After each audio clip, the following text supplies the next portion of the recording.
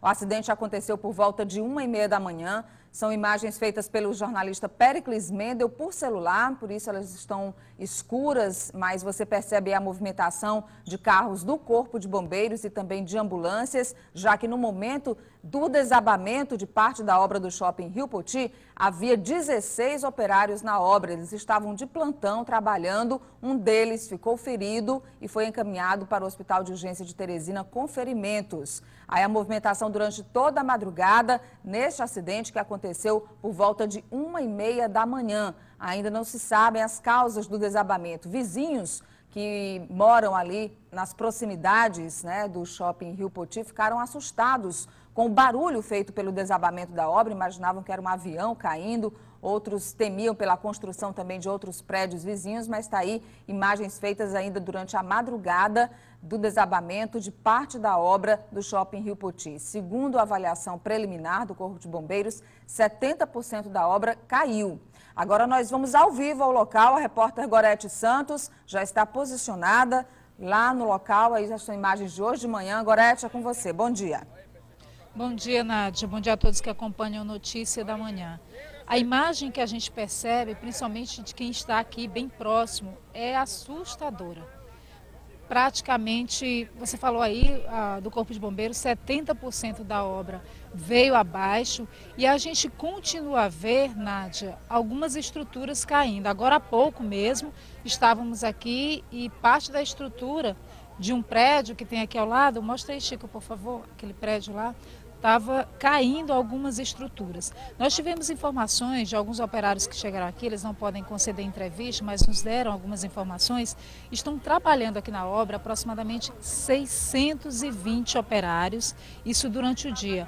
À noite fica cerca de 150, estavam aqui no local, mas nessa parte que desabou, havia esse número que você colocou antes, cerca de 16, um ficou ferido, mas foi socorrido por pessoas que se aproximaram e também pelos operários que estavam aqui no momento. O Corpo de Bombeiros chegou em seguida e a informação que a gente tem é que ele passa bem. Toda essa estrutura que desabou chama-se Asa Norte. Segundo os operários, o empreendimento tinha um formato semelhante ao de um avião.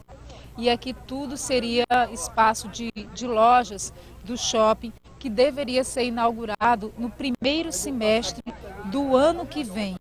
O momento é de tensão, todo mundo olha aqui estarrecido, sem acreditar no direito no que aconteceu. O local foi completamente interditado, ninguém tem acesso, apenas um funcionário lá do lado de dentro que observa no momento. E a gente aguarda a chegada aqui de funcionários da empresa que possam conversar conosco, dar alguma informação do que poderia ter provocado isso todo esse desabamento e também o que deve ser feito a partir de agora. A gente acredita que lojistas também possam vir por aqui.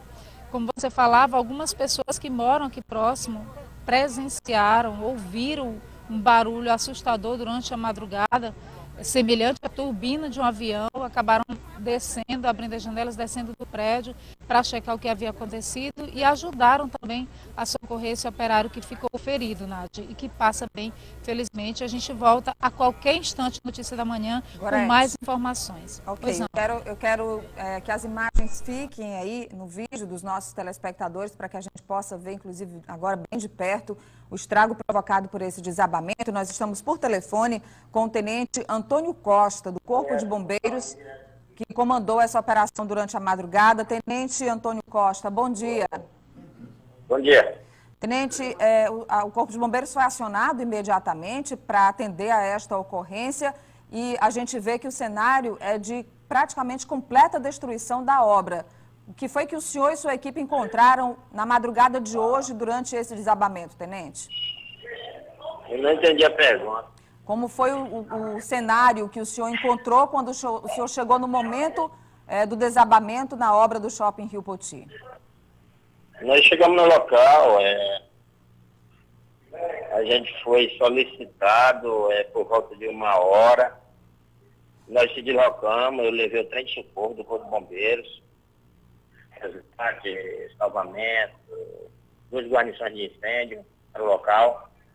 E o cenário que eu encontrei foi é, o, a construção quase totalmente é, desabada, então, vamos dizer, uns 70% ou mais. Estava quase toda desabada a construção, né? Aí nós fomos recebidos por dois funcionários da empresa é, a Cavalcante, o senhor Jamil Torres, que nos, deu, é, nos prestou informações a respeito é, do contingente de pessoas, de homens que, é, que estão trabalhando na, na, obra naquele período da noite. Ele, ele me é, afirmou que seria no total de 16 pessoas. Entre elas, só teve uma vítima é o senhor Daniel da Silva Ramos. Daniel da Silva Ramos, é, que ele sofreu uma lesão na perna direita e outra na esquerda.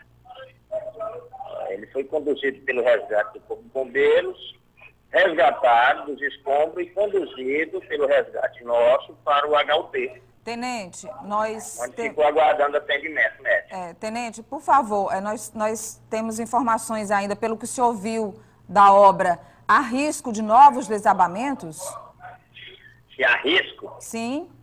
Não, a isso aí eu não posso é, prestar essa informação, porque eu não, é, não vamos dizer assim, eu não, eu não sou engenheiro, eu não tenho é, como ele dar essa resposta dessa pergunta, tá certo? Ok. Eu só lhe presto informações daquilo que eu tenho conhecimento. Foi o, que o trabalho que eu fiz, juntamente com minhas equipes. E é o que eu posso falar, é isso mesmo. É isso. Ok, e tenente. A respeito do resto, de, do resto do prédio vai se desabar, eu não sei. Ok. Tem informações. Eu queria agradecer a sua participação, Tenente Antônio Costa, do Corpo de Bombeiros, que comandou a operação durante a madrugada. Muito obrigada, Tenente. Um bom dia para o senhor.